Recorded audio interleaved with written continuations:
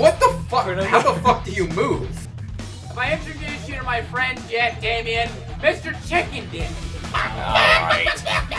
That's gonna make me mess up. This, I'm getting face fucked. I am getting fucking face fucked. yes, bark like a dog, Damian. We have bigger butt cheeks than turtles. Why does he look like he's getting a fucking blowjob when I hit him? Oh! Apparently this thing doesn't die. Is it even attacking you? Von Kaiser. He's gonna fuck you with his mustache. Could these possibly be like harder enemies? Yeah. Yes, it's for good. God Kill. damn it! Go.